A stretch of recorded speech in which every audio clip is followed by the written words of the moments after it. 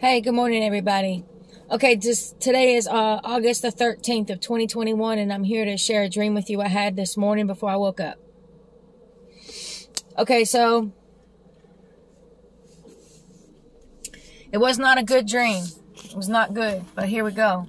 All right, so I live in Florida, in the USA. I live in Florida, and um, I was at my mom and dad's house. I was trying to call down to per- to Palm Harbor, and uh, the call wouldn't go through. And I tried to call it again. The call wouldn't go through.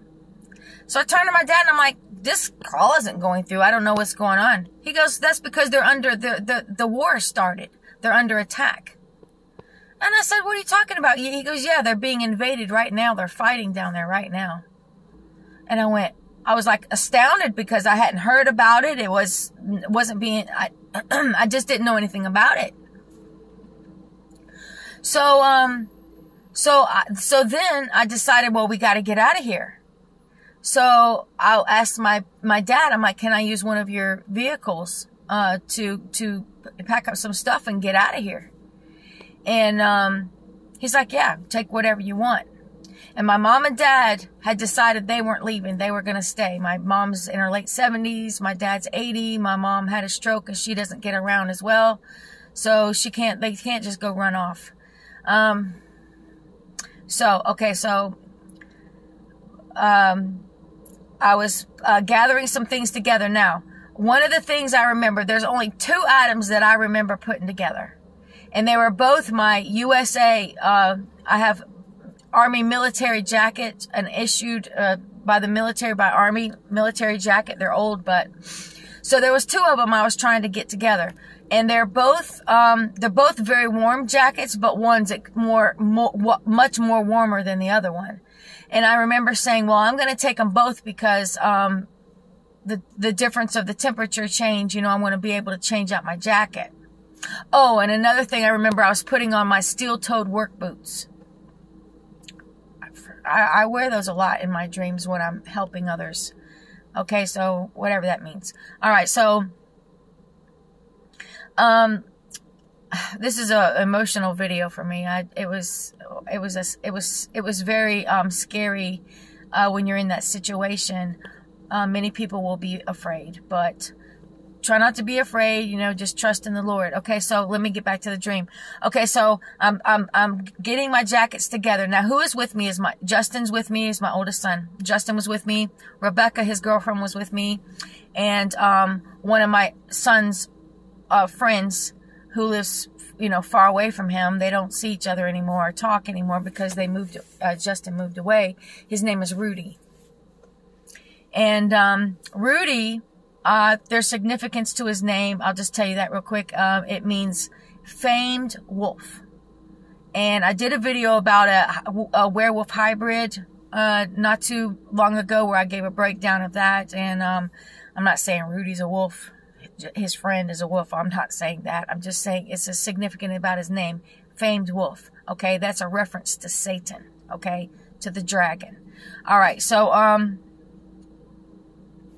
so in the dream, um, I've got them with me now. There is me. I'm I am taking this group of people. Uh, we're gonna get out of there. So it's Justin, Rebecca, Rudy, and there's one other person that I don't know. I, I don't. I can't even remember what their face looked like or anything. But I just know there was one other person. And um, so all of a sudden, I remember my friend Christy. Uh, my friend, in reality, my friend Christy, she lives up on a mountain in a extremely rural area. Um, a lot of forestry around her and uh, things like that. So she doesn't live in the city. She lives off by herself. Well, with her family, but you know what I'm saying? She lives on top of a mountain. And um, so it's kind of secluded area. So um, just like that, her name, her Christy came into my mind. And I started crying. When I thought about Christy, I started crying. And I said, oh, maybe that's why the Lord put her in my life you know, so that we could go there.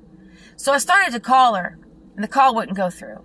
And then I realized I was trying to call her on a tablet, you know, a, a, one of those iPad tablets or something like that. I don't have one, but anyway, in the dream, I was trying to dial her on that. I said, oh, this isn't a phone. I can't use this. So I picked up my cell phone and I started calling her on my cell phone. Um, before she picked up the phone, I could hear Christy. I could hear Christy singing. Um, in reality, last night she sent me the most beautiful worship song. Christy is a warrior of Jesus Christ, but she has a she has a a voice like an angel. It, it's so beautiful. It will just touch your soul. I'm I'm telling you, it's you know it's beautiful. God gave her this beautiful voice, and she sure uses it to worship the Lord. So um, before she picked up the phone, I could hear her playing her piano, and she was singing this song at the top of her voice to the Lord, and it was just it was so beautiful.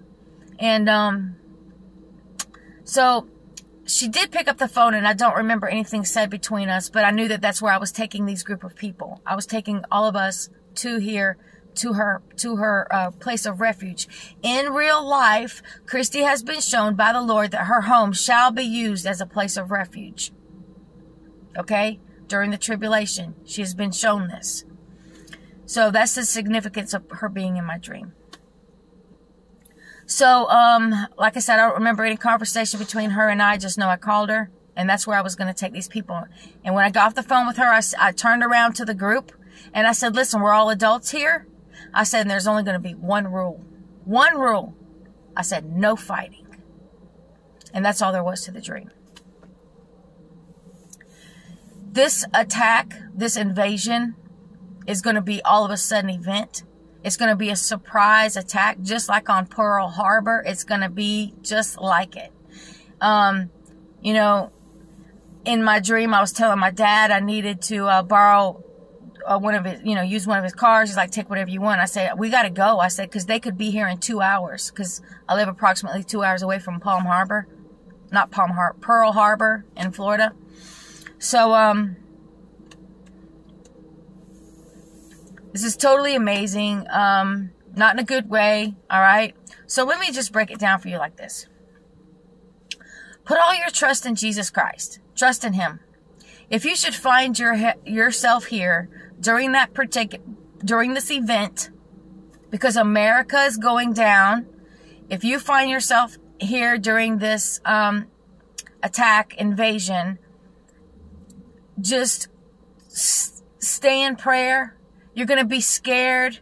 Okay. You're going to be scared. It, it, it's, it's fear, you know, it, but you have to hold your thoughts captive. All right. Stay in prayer. Allow the Lord to direct you where to go, what to do. And there are going to be people that will be there. God will send people to guide you as well. Um, to everybody, I don't know. All right, I don't know, but I know I was there. I was I was taking a group of people um, to a ref- place of refuge. Okay. And um, it is what it is, guys. Listen, if you choose to believe that America's going to be great again, everything's going back to normal, if you've got your brain on going on vacations, if you've got your brain on your retirement fund, or just all kind of nonsense and things of this world, you're making your plans, for a country that's going to be destroyed, it's going into captivity, it's going to be destroyed. All right. Um, listen, I don't know what else to tell you. I, have I, you can go through my playlist and you my uh, videos and you can see all the dreams I've had about Russia, uh, America going into captivity. Now, whoever was invading us in this particular uh, event, I, I, don't know. I have been shown Russia. I've been shown China. I've also been shown Lebanon attacking us. So listen, um, which is Hezbollah and all of that. Okay. So I'm here to tell you, I'm here to warn you. All right. Stay right with the Lord. Okay. No matter what you go through, let Jesus Christ be the rock that you stand on. All right. Don't let your faith falter. All right. That's all I can tell you at this point. I'm telling you, Walk in obedience to the Lord. Jesus Christ said, if you love me, you will obey me. That is a scripture. It says, if you love me, you will obey me. Look it up. Do some research. Look it up yourself. If you feel that you don't have, there's any, uh, you know, anything you have to do. And I'm not saying that I'm not saying that um, your works will get you into heaven. Okay? It's not. It's by the grace of the Lord. It's by the grace of Jesus Christ dying on the cross for you that you can re- that you can receive salvation. He's our bridge to God. But you must walk in obedience. You can't just think, okay, well, I said a prayer. Now I'm going to go out to the club getting drunk and um, I'm going to go uh, partake of things of the world and, and, and live in sin and that you've got a free ticket into heaven because I promise you it doesn't work that way. Why do you think Jesus says to many who say they're saved when they get in front of him one day, why do you think Jesus says, depart from me for I know you not? These people came before Jesus proclaiming, well, well, Lord, Lord, look at what I've done for you. I did this in your name. I did that in your name, blah, blah, blah. But what does Jesus say? He says, depart from me for I know you not. All right. So listen, I, I don't want to make this any longer than this. Uh, this was, um, I hate, I hate having to give these messages like this. I, I wish I always had, you know, nice, beautiful, encouraging things to say. All right. But this, this is, this thing's going to happen. It's going to happen sooner than later. It's going to happen sooner than you think. All right. God bless you. God bless your family. God bless your animals on this day. Goodbye.